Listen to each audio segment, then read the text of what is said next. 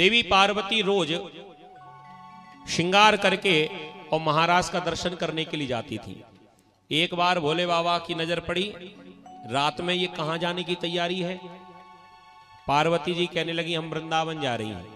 वहाँ क्या है? कह दिया, वहाँ भगवान रास विहारी रास रचा रहे भोलेनाथ कहने लगे तो हमें भी ले चलो। हमसे क्यों नहीं बताई? कह दिया, नहीं नहीं। वहाँ केवल स्त्रियों का ही प्रवेश है। वहाँ पुरुष नहीं जाते। भोलेनाथ कहने लगे तो हमें तो जाना है।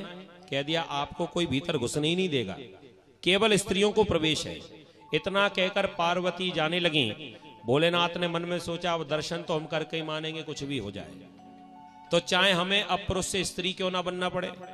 सो पार्वती जी की पुरानी साड़ी रखी थी, सो उठा के उसी को ही लपेट लिया। फिर सोचा, थोड़ा श्रृंगार होना चाहिए। तो श्रृंगार की सामग्री तो बहुत सारी रखी है। लेकिन कौन सी चीज़ कहाँ लगती है, ये तो ज्ञात ही नहीं है। अब श्रृंगार तो बहुत सारा था। मन में सोचने लगे, ध्यान करने लगे। हमसे कुछ बात भी कर रही थी और आँखों में कुछ लगा भी रही थी।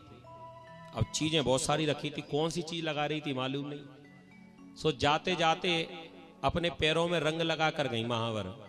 सो सोच रहे थे, भोलेनाथ, ये लगा रही होगी आँखों में। सो महावर उठा के आँखों में पोत लिया।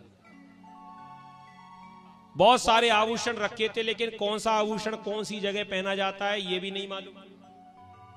इन्हें तो श्रृंगार कभी करना नहीं था। आज पहली बार मौका पड़ा, सो उल्टा श्रृंगार। जो कान का था, उसे नाक पर लटका लिया।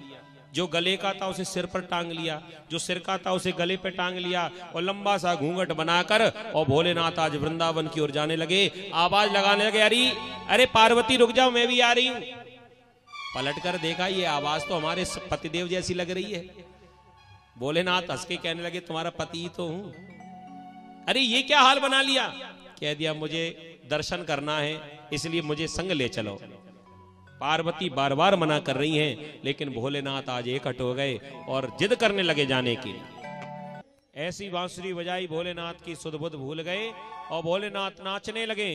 कहीं साड़ी, कहीं भोलेनाथ की जटाएँ सब की सब गोपियाँ खड़ी रहेंगी, अकेले भोलेनाथ ही नाच रहे हैं। पार्वती ने देखा, पार्वती को क्रोध आया, पास में गए और जाकर भोलेनाथ की बाह पकड़ के कहने लगी, नाक कटवा दी तुमने, कितना हमने मना किया था। नहीं माने, अब क्या हुआ? नाचने की मना की थी। भगवान भी हंस रहे हैं। भोलेनाथ को देखकर भगवान कहने लगे, भोलेनाथ, ये क्या हाल बना रखा है? भोलेनाथ शर्मिंदा हो गए, कहने लगे, क्या बताएँ? हमें आपका दर्शन करना था सो हम गोपी बन गए। भगवान ने कहा तुम्हारी जैसी गोपी होती है। तुम्हें कोई दे, देख ले तो बुखार चढ़ा है। इतनी खतरनाक गोपी होती कहीं। गोपी तो सुंदर होती है जिसे देखकर मन प्रसन्न हो जाए। तो महाराज हम कभी गोपी बने ही नहीं। पहली बार तो हमने प्रयास किया है। कह दिया जाओ यमुना में डुबकी लगा कर आओ। भोलेनाथ दौड़ कर गए और जो यमुना में डुबकी लगा कर आए, इतनी सुंदर गोपी बन गए भोलेनाथ, जिनकी छवि के सामने ललता विशाखा की छवि भी पीखी पड़ गई। आज भी गोपी के रूप में भोलेनाथ वृंदावन में है, जिनका नाम है गोपेश्वर महादेव। बोली, गोपेश्वर महादेव की